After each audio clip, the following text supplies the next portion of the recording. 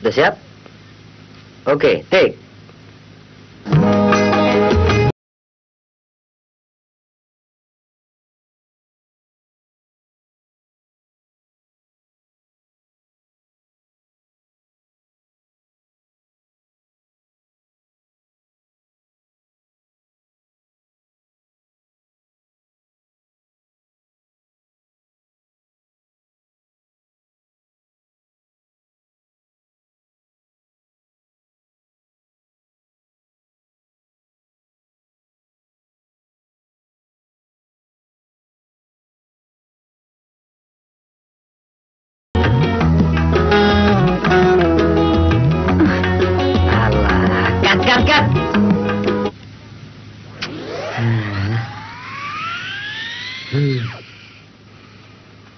Allah, Shanti, ke mana suaramu?